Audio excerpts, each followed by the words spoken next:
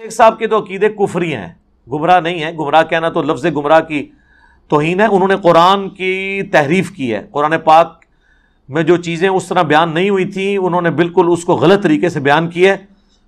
तो लिहाजा, यानी पाकिस्तान में अगर किसी तबके या ग्रोह की तकफीर हो सकती है ना तो इन लोगों के बाज़ नज़रियात की तकफीर हो सकती है। जिस तरीके से वो बयान करें अलबत्ता, बातें वो कई ठीक भी करते हैं। हमारा तो उसूल यह है कि जो सही बात करे वो ले लो, गलत बात करे तो छोड़ दो। सही बात तो शैतान करे।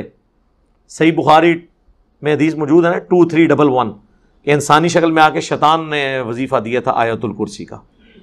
तो नबी इस्लाम फरमाया, है तो शैतान था, झूठा था, लेकिन बात उसने सच्ची की। और मुफ्ती अब्दुल बाकी के मुनाजे के बारे में आपने लेक्चर रिकॉर्ड क्यों नहीं करवाया और जो पॉइंट उसने उठाए उसके बारे में आपकी राय क्या है? पहला पोर्शन तो मैंने रिकॉर्ड करवाया। मैंने, मेरे नज़दीक तो दोनों का मौक़ गलत है।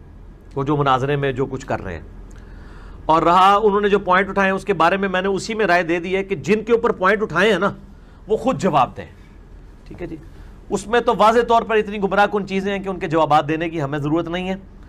जिन ओलमा के साथ वो मामला हुआ है और पूरी दुनिया के अंदर, इस हवाले से जो उनका इल्मी लेवल लोगों के ऊपर अया हो गया है, ये उनकी फ़िक्र है कि वो उनके जवाब दें।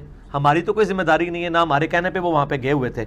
इसलिए हमें कोई ज़रूरत नहीं है। और मैंने पिछली दफ़ा भी बताया था, मजलिस नंबर फोर का पहला सवाल था कि जो गुमराह कन अकायद फैला रहे हैं, उन लोगों के ऊपर मुझसे लेक्चर ना रिकॉर्ड करवाया करें, नुकसान हो जाएगा। क्योंकि उनको पहले हज़ारों लोग जानते हैं, फिर लाखों लोग जान लेंगे।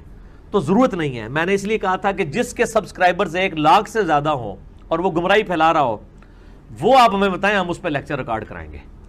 अगर सैकड़ों लोग उनके सब्सक्राइबर हैं या हज़ारों में हैं और पिछले दस पंद्रह साल से वो लेक्चर रिकॉर्ड करा रहे हैं, उनको कोई पूछता नहीं है तो आप हमारे ज़रिए तो उनकी मशहूरी ना दिलवाएँ। या तो उलमा बेचारे